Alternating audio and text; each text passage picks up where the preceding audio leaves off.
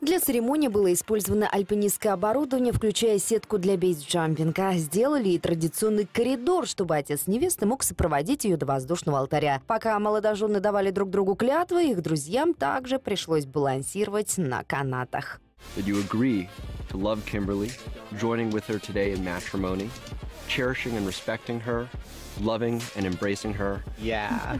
Hell yeah.